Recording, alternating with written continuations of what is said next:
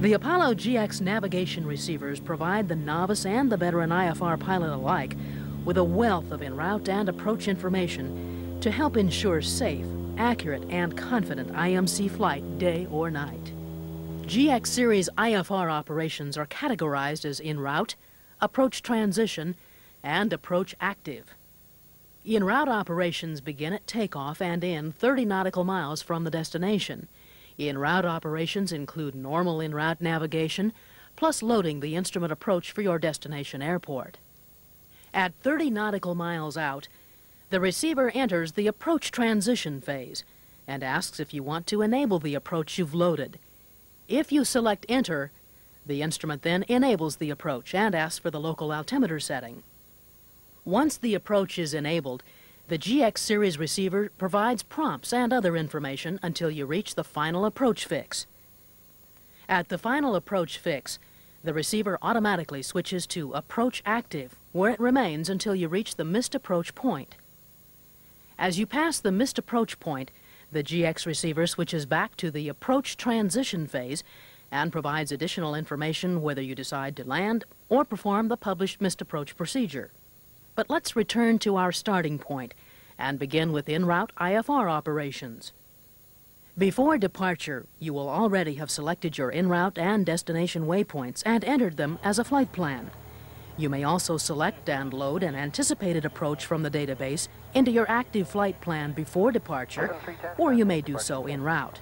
However, you can only select an approach for the last waypoint in your active flight plan. The Apollo GX receiver assumes the last waypoint to be your destination, so it must also be an airport. All right, here comes our clearance. Go to SeaTac, River 6 departure, then as filed, maintain 900,000.